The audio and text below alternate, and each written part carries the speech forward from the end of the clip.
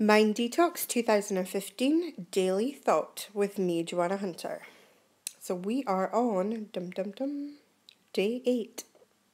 So today's daily thought is every day the universe asks the question, What are you aligning to?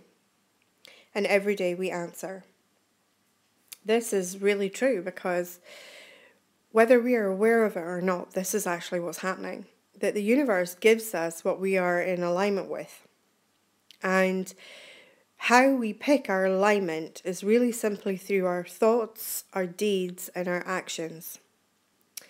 And the the thing is that we might I'll give you a good example actually, and one that I use quite often with my clients is for instance, you have this goal of creating success for yourself in your life and you might have a project that you believe is going to lead to success.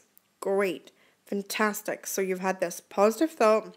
You're now going to take massive action to make this alignment work and to start aligning. So you start taking that action and you're all doing really, really great. But at every single turn, every time you take that massive action, you call yourself internally in your head a loser.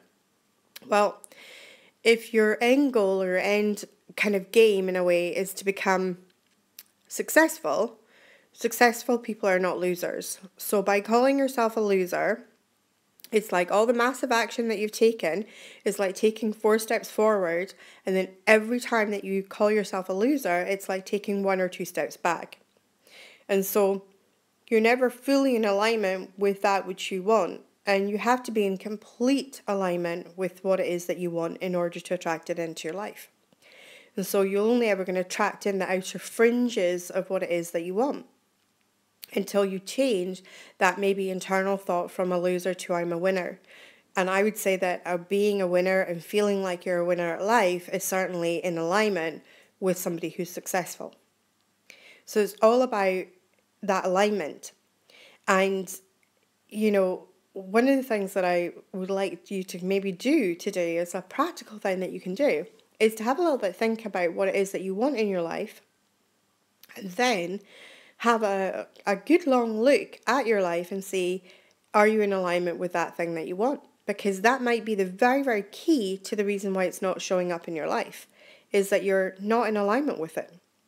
That your thoughts your actions and your deeds are not in alignment with the, the thing that you wanted and all it requires of you really is just a little course correction, just a little correction to get you back on track, just to get you back into alignment with it.